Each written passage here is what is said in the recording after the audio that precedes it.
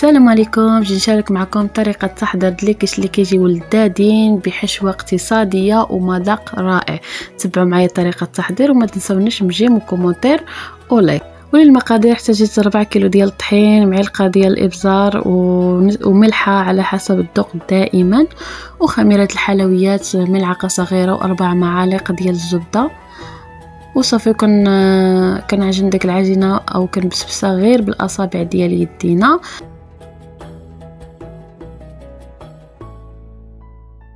وكنضيف عليها ملعقة ديال زيت الزيتون مع بيضة كاملة.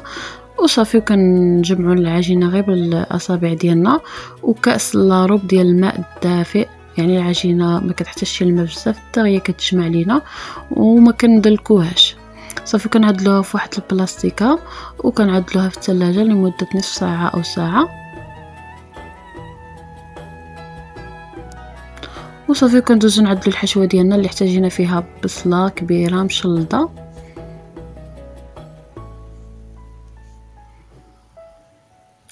كنعدلوها في مقلاة مع ملعقة ديال الزيت وملعقة ديال الإبصار وثومه بودرة. وصافي البنات ملحة على حسب الذوق دائما وملعقة ديال الصوجة. وكنشحروها واحد شوية. يعني كنشحروها حتى كيتبدل اللون ديالها وكد وكترجع بهذا اللون اللي كتشاهدوا معايا في الفيديو. وكنزيدوا عليها الزيتون والثوم وكنخلطوا هاد المكونات مع بعضياتهم حتى كيندمجوا لنا مع بعضهم. ومن بعد ما ارتاحت لينا العجينة اللي خليناها في الثلاجه نصف ساعه كنطلقوها. آه، الفيديو مشى لي البنات اللي طلقت معكم العجينة. مهم ماشي مشكل. العجينة كنطلقوها آه، كبيرة على المول يعني خاصها تكون بهاد بهاد الطريقة اللي كتشاهدوا معايا في الفيديو. وصافي كنعدلوها في المول ديالنا وكنثقبوها بالفرشيطة. ضروري باش ما كتنفخ ليناش في الفرن. وكنزيدوا عليها ديك الحشوة اللي اللي وجدنا مع بعضياتنا التون والبصلة مشلطة والزيتون.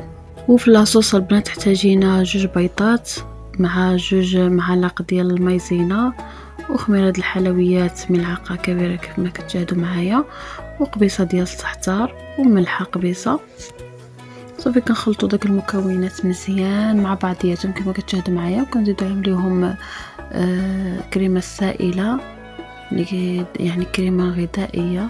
يمكن لكم أنكم تعوضوها بضانون طبيعي وكنزيدوا عليهم الجبن المبشور.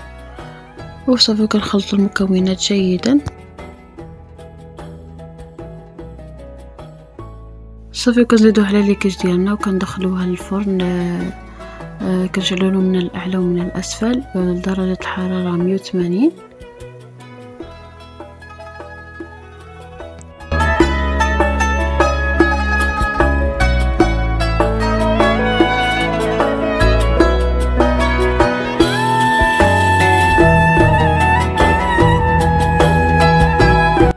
وهذه هي النتيجه ديال ديالنا اللي كيجيو لذاذين رائعين خطيرين.